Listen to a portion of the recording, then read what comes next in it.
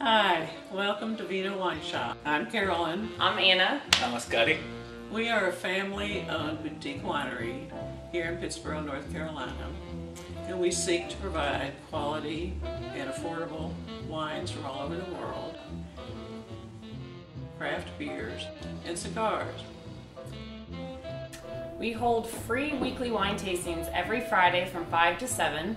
Um, it's a huge social event. Lots of people come out, and it's a really good way to kind of understand the wines that we sell here, which are very small, boutique, family owned artisan wineries. You won't find any of our wines in a grocery store.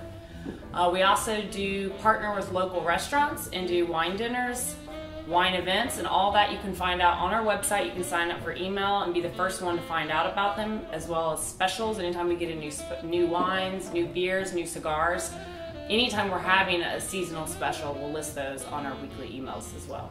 We also support local artists in the area, so when you come into our wine shop and peruse our selection, you'll see that we feature local jewelry, artwork. It's very different from most wine shops you've seen. We have a lot of wooden shelving that was handmade by Scotty's brother, which he'll tell you more about. Uh, when uh, we decided that we wanted to do this, we really wanted to go with something very natural, like Anna was saying, very, uh, very homey. It is the first thing that most people mention and comment on when they do walk into the wine shop.